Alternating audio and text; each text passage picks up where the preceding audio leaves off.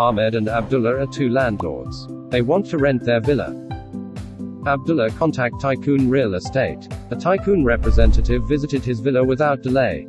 Abdullah gives full authority to Tycoon Real Estate to rent out his villa.